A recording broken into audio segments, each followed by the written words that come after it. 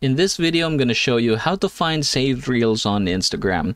Now, for us to get this done, I want you to go ahead and just tap this plus sign right here, and then you're going to go ahead and choose reels from the option right here. Next, you have there your drafts. You can go ahead and click that one, and there goes your draft. So you can go ahead and click this one right here. You can edit the cover or basically uh, put here all the necessary details and then share this right away, or you can go ahead and edit the video by clicking this one right here. So you can go ahead and basically add all the necessary things that you want to do or you can go ahead and click this one right here in order for you to continue editing or shooting this reel. And that everybody is how you're going to get this done. I hope this video helps you out.